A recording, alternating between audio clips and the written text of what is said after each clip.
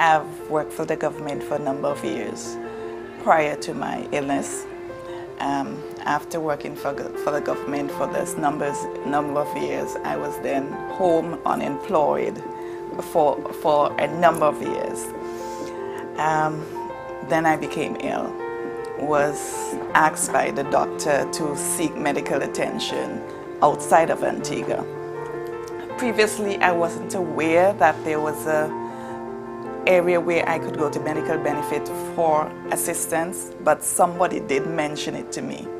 So I sent an application in, requested them to fund me, being that I wasn't working and didn't have the funds to do so. Um, that application was received.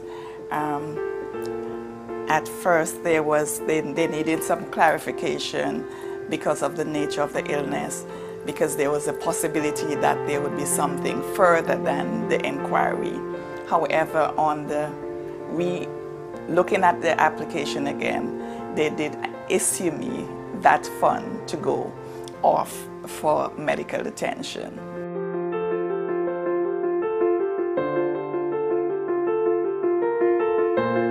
I just had an eight month old baby girl.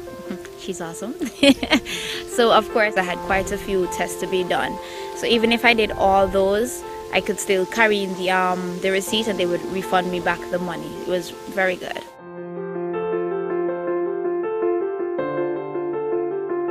I've done a lot of blood works. What I do, I submit my receipt to medical benefit and they look at them and they will pay you according to what the payments would be.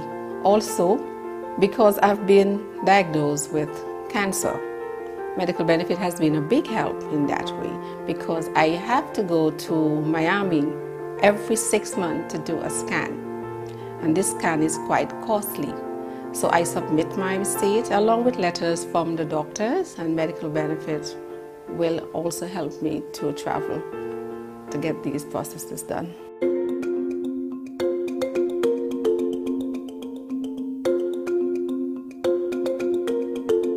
Based on our unaudited financial information for the period July to November 2016, the medical Benefits scheme cash collection was $29.8 million. During that period, MBS made payments directly to its beneficiaries to the tune of $10.1 million and further payments of $15.6 million in donations to the Ministry of Health to finance its various projects. The expenditure to the medical benefit scheme beneficiaries was made up of pharmaceutical purchases totaling $7.5 million. The pharmaceuticals purchased were distributed at MBS's six pharmacies and covers medication that covers 11 chronic non-communicable diseases. Another $2.5 million was disbursed to MBS beneficiaries in the form of financial assistance for local and overseas treatment and in claim refunds for diagnostic tests and doctor's visits. Donations to the Ministry of Health included payments of $7.5 million to the Mount St. John's Medical Center for the hospitalization care of MBS beneficiaries, and an additional $4 million was expended to pay the Mount St. John's Medical Center building loan and to purchase equipment for the hospital. Also between July and November, the medical benefit scheme spent approximately $1.5 million on behalf of the Ministry of Health to support the Cuban Medical Brigade. The monies were used to pay salaries, accommodation, and travel overseas for the contracted Cuban healthcare workers housed at the Mount St. John's Medical Center and in Barbuda.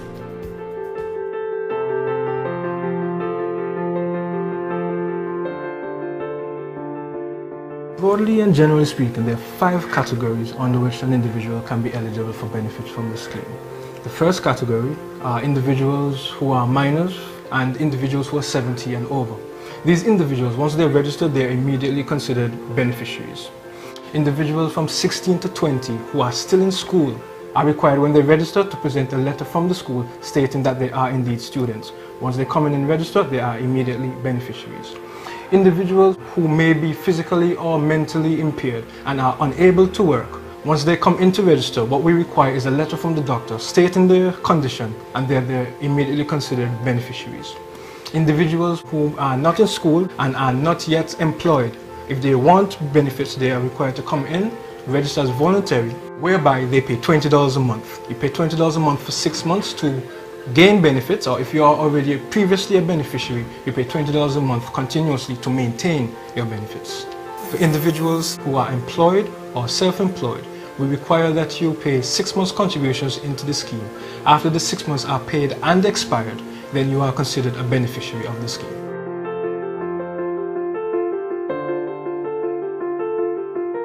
The first time I registered was about 30 years ago. After leaving high school, my first job was with the government.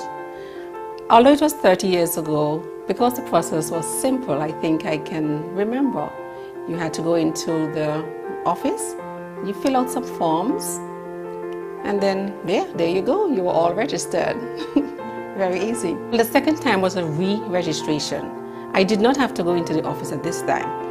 Um, I think what happened is because it was crunch time, it was coming to an end and medical benefit really wanted to get things sorted out. So what happened, they sent some employees over to the bank and we were all registered at the bank. We did not have to go to the office, which was quite nice.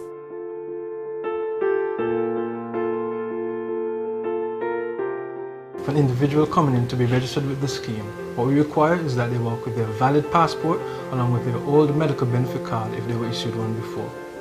For nationals whose passport may have been expired, what we require is your birth certificate along with two government issued IDs inclusive of your social security card. For minors, what we require is that the parent or legal guardian come into the scheme with the child's birth certificate or passport if the child has a passport, along with the parent's passport. Again, if the parent does not have a passport, what we require is the parent's birth certificate along with the two government issued IDs inclusive of the social security card. For citizens who have been naturalized, we require the same. However, if their passport is expired, we require their birth certificate, the two government issued IDs, along with the certificate of naturalization. For returning nationals who have been out of the country for more than three years, what we require is that they return and they're residing in Antigua for at least three months. Now, for non-nationals, there are two circumstances under which they may be registered with the scheme.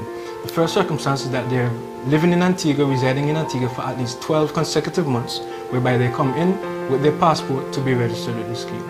The other circumstance is if they are employed then we require their passport with the work permit stamp already put into the passport along with their social security card to be registered. It was very easy, I must say. I went to the registration office and they, you know, have a, I had a seat. I got the form to fill out and before you know it I was up in front of the camera to take the photo. And the good thing about it is that even if when you're taking the picture and you don't like the picture they can uh, you can redo it. You can even smile too. It's not one of those serious mugshot pictures. So my card looked really really nice but it was very easy. And then of course they have your contact information and they called you when the card was ready so it was very easy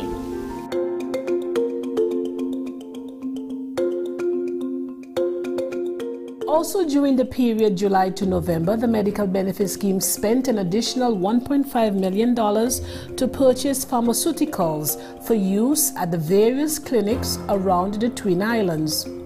These pharmaceuticals were managed by the Central Medical Stores on behalf of the Ministry of Health. Approximately $262,000 was spent in rental for the space that housed the Central Medical Stores and an additional $39,000 was paid for security services for the building. During the period July to November 2016, the Medical Benefit Scheme also paid $236,000 in miscellaneous payments, which included rental for the Freetown Clinic, items to furnish the Cedar Grove Clinic, expenses for Epilepsy Week, freight costs for the Blood Mobile Unit, and Antigua and Barbuda's contribution to the World Health Organization. The miscellaneous payments also included meals and overtime cost for MBS staff to perform stock count at the Mount St. John's Medical Center and professional architectural services at the Hamcom building. And that's your snapshot of how your MBS contributions were spent during the period July to November 2016.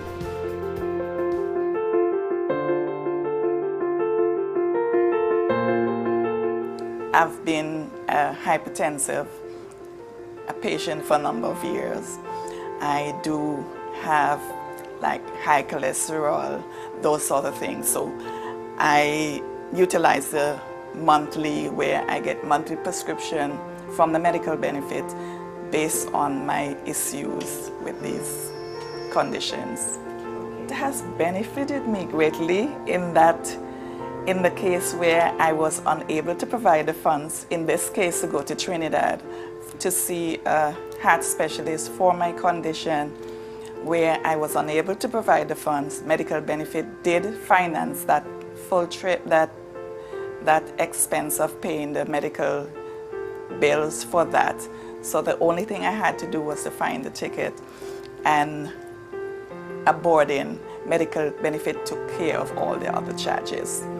Just for the registration at the hospital itself, instead of having to pay that lump sum of money that they were asking for, I had to just pay a minimum of $500, which was um, easy, you know, at reach, and I didn't have to worry about the bill after I've had um, my daughter. So that I can say is a plus. Yeah, so I'm glad that I've been contributing. It benefited me greatly, especially at this time where I have to have chemo. If I had to purchase the chemo on my own, I don't think I'll be able to do so. So what my doctor has done is to tell medical benefit the chemo that I need and they will they will give it to us where he can administer it free of cost.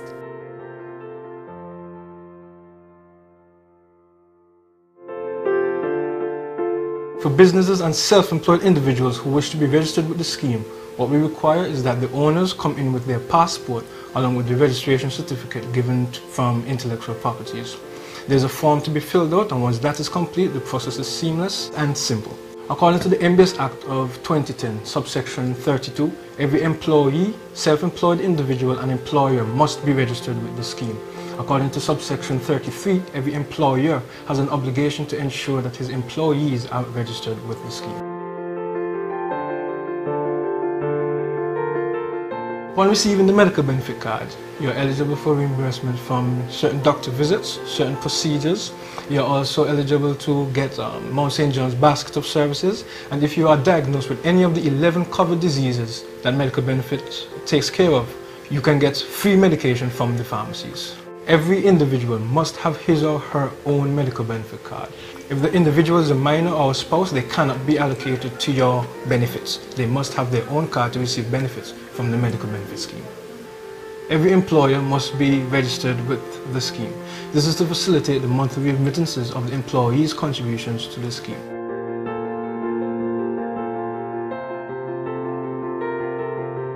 The fact that I was able to go to them in the sense where I was in need of assistance and getting that assistance. I have a classmate there. She's very, very nice. So even I, am able to see a warm, friendly face, it just makes me even comfortable to ask certain questions. And I don't feel like it's business. I feel like I know her, so it's really easy.